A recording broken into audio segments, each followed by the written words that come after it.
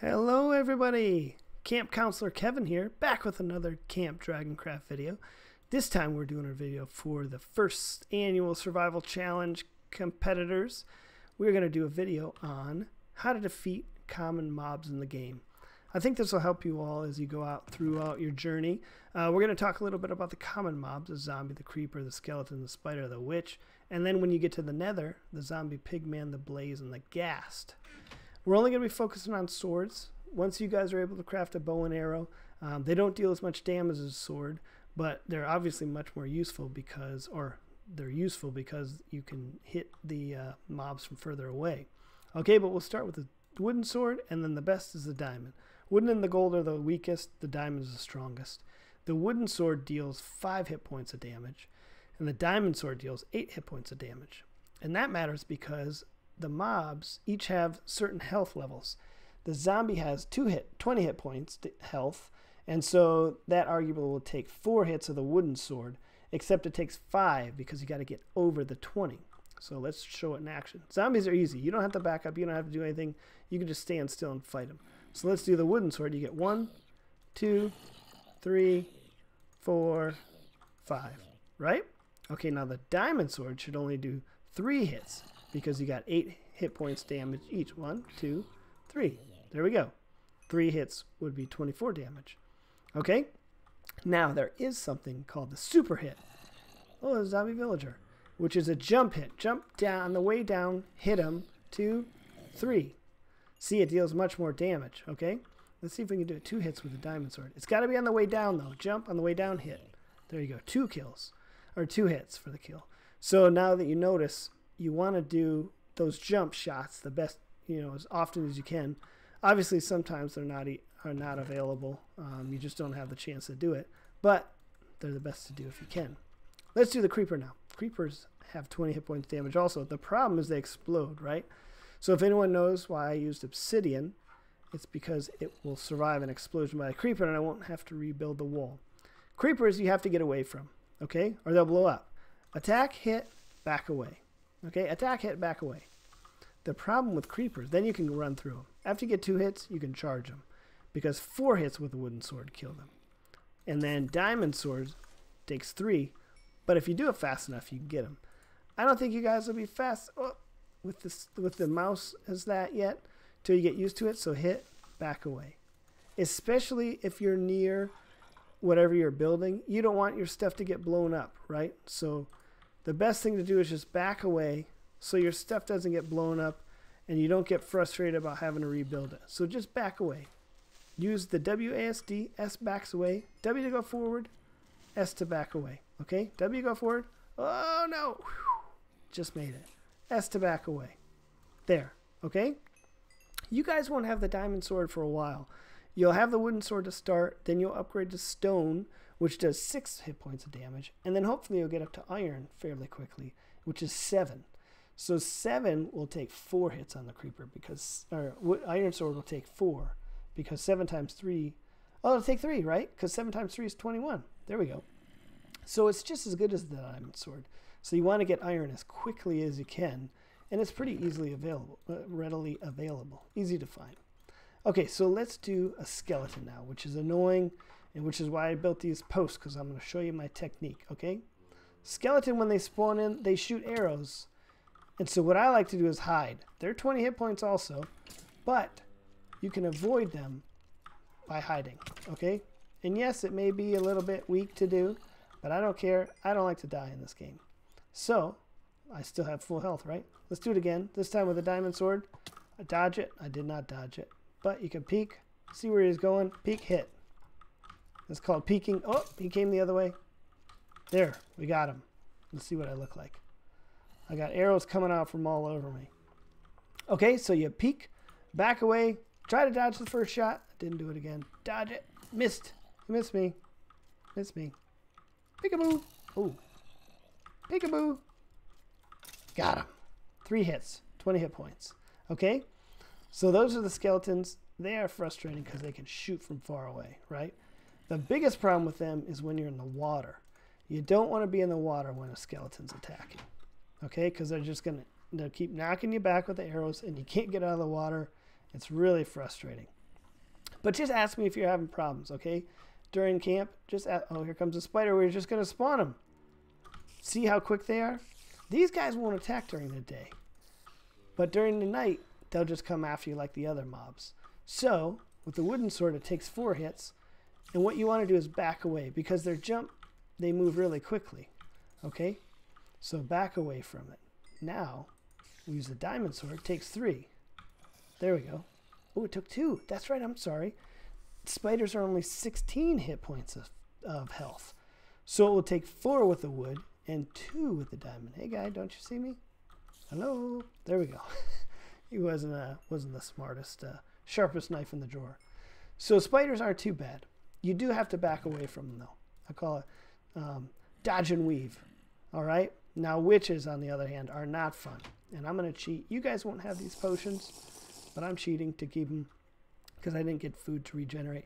Witches are difficult. Witches have 26 hit point health. So that means how many? Five from the wooden sword?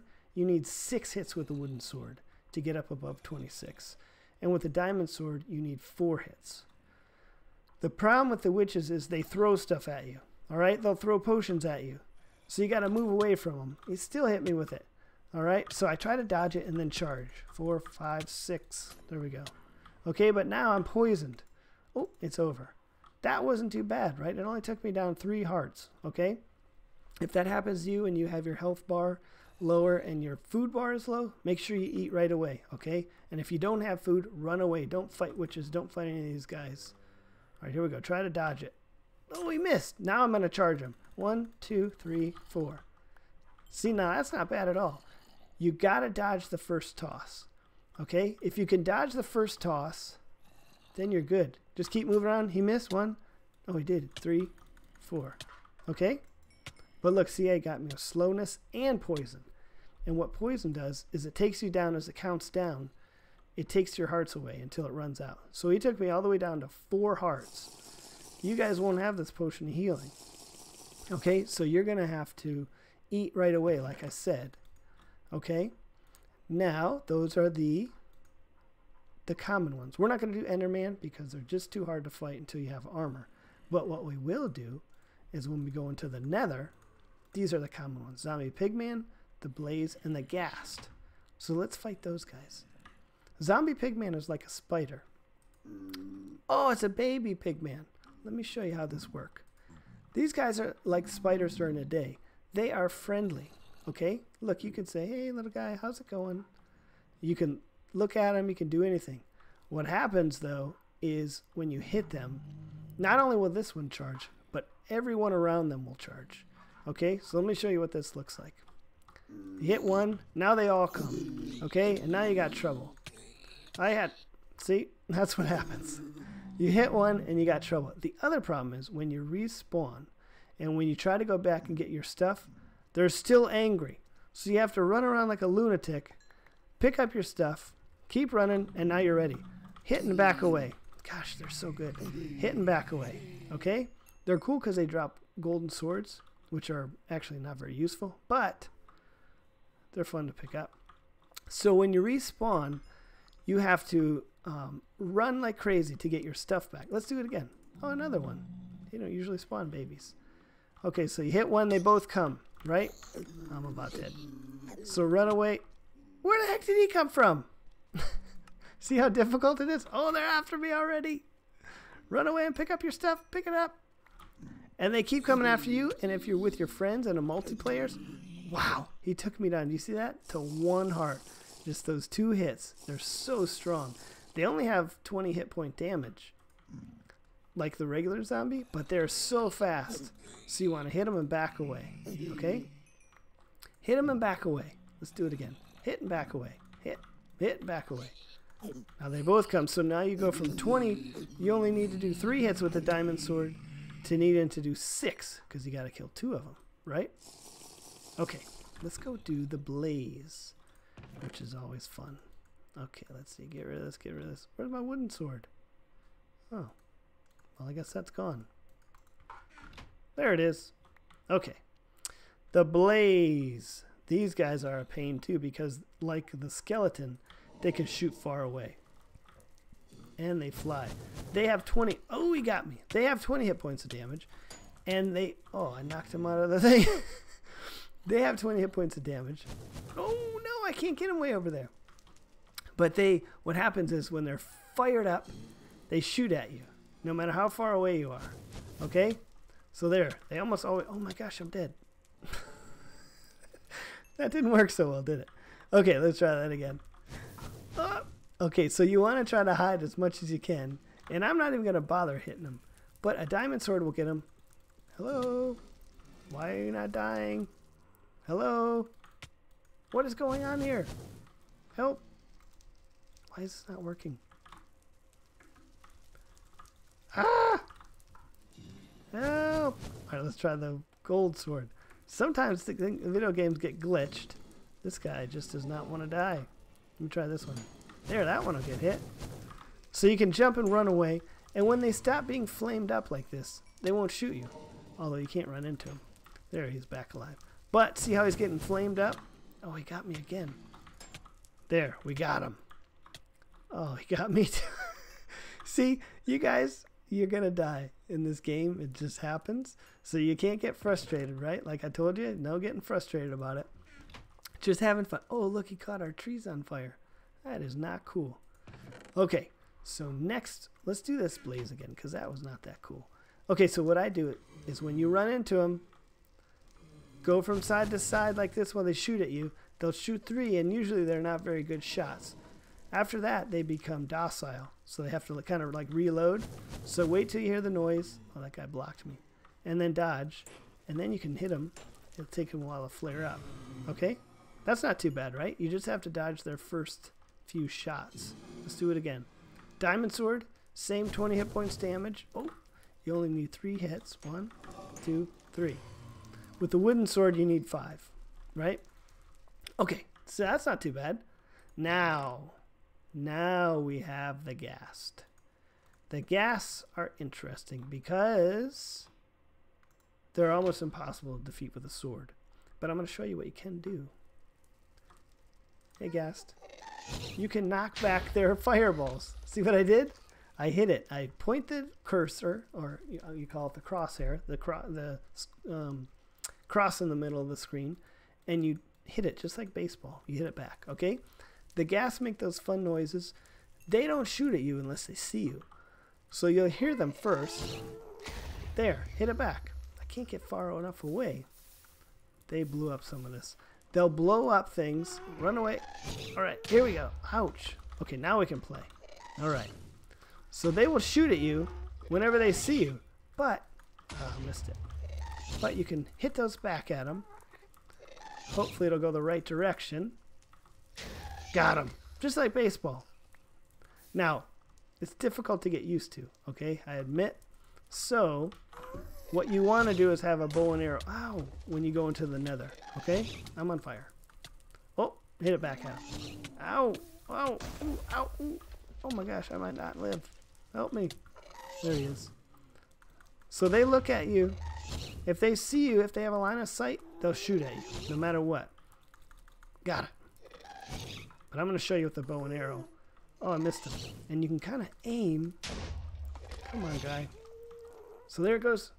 He's gonna get him. Yes, got him. Let me uh, let me pause for a minute, and I'm gonna show you with the bow and arrow. Okay, be right back. Okay, I am back. This time with the bow and arrow, which does a little bit less damage than the wooden sword does. It takes three hits, two to three hits to kill the ghast, um, which has 10 hit points of damage. So let's give it a try. You'll note I had to repair my arena because of the darn ghast blowing things up. They will blow up grass blocks, they'll blow up the netherrack, they'll blow up dirt. So when you go to the nether, you want to bring cobblestone with you. You want to build walls because depending on where the portal spawns you, it might spawn you right in front of a bunch of ghast. So you want to build a wall when you get there, if if necessary.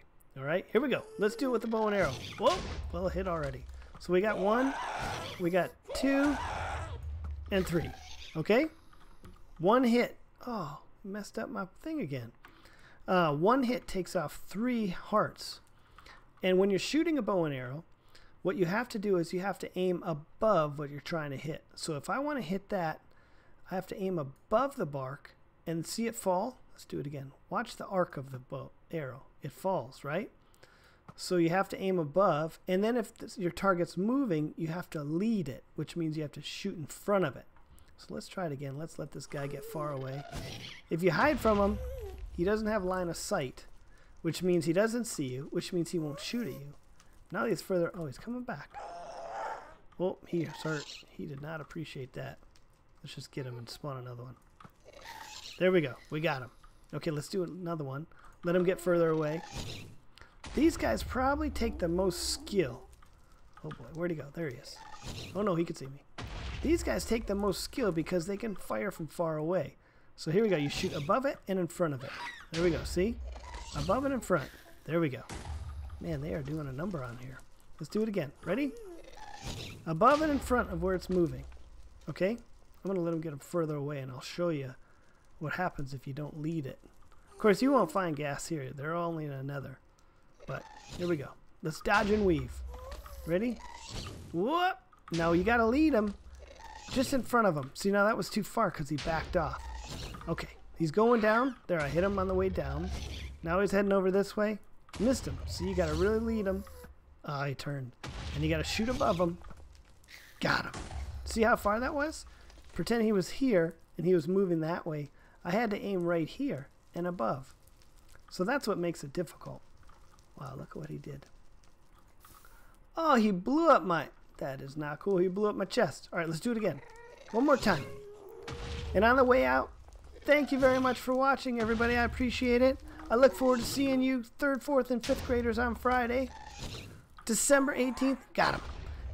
For our next Camp Dragoncraft meeting, the second session of our survival challenge. Can I get him? No, I missed. And if anyone has any questions, please don't hesitate. I got him. Please do not hesitate wee, to email, uh, post a uh, message on the on the YouTube channel here. I will um, email you back as soon as possible. If you have any questions, comments, concerns, anything like that, I'm always happy to answer questions.